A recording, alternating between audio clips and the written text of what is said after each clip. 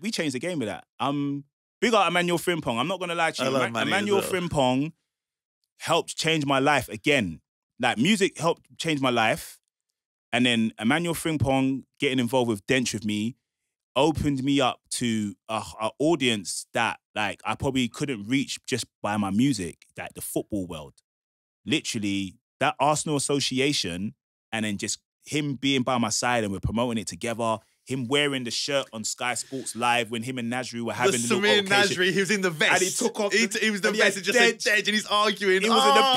paper the next day. Do you know what? Do you know what? Do you know what my out, biggest? Do you know my biggest regret is with Dench? Go on.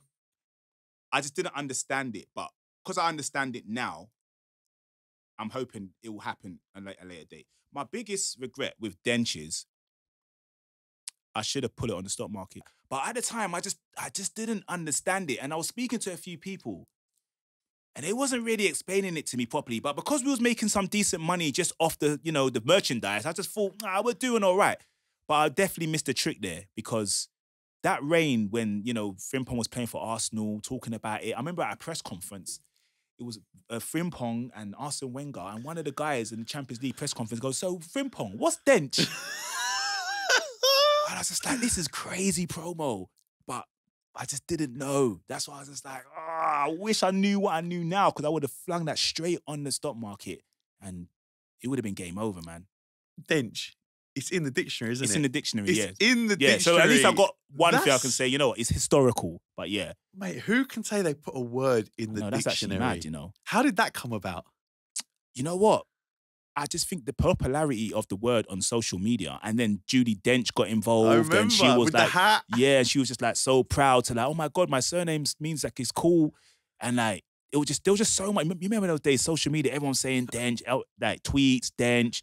Me and Frimpong are just saying it everywhere. The, the merchandise is everywhere. Like you walk out, I I used to see people wearing it, and I would be like, oh, nice top, and he would just be like, yeah, thanks, mate. Like, it doesn't even know, like that's my company. Like Yeah. it got to that crazy where just the general public were just loving it, and um, I just think all the excitement and all the energy behind it, you know, the dictionary were just like, I think we got to add this now. So, but yeah, now big up Frimpong though, man. Frimpong forever grateful for for what you did. You don't even know what you did, bro. And it was at a time where the music game was a bit weird. You know, new artists come and you know they kind of try to shelf the old ones, and I was going through a few issues with a few other artists, so things were kind of hard. And the the Dench brand almost said, you know what, the music game is not trying to make me penetrate. So Dench grant, the Dench actually like dug a hole in the ground and made me build a tunnel. And by the time I came out, all the people that was ahead of me were behind me. And that's what it did for me. So like secret, thank you. like a secret passage. Yeah, it was like, a cheat loophole. code. Yeah, literally, it was a, it was definitely a cheat code.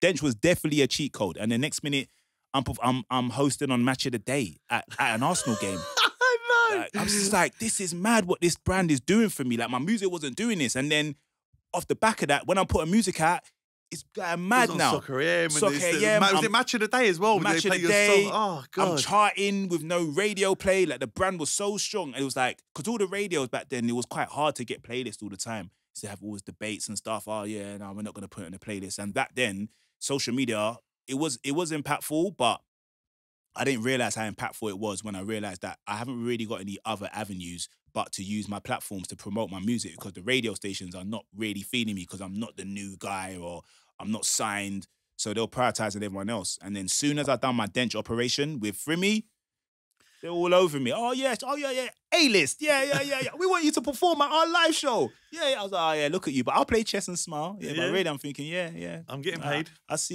you. But I hear know, you. I know the situation.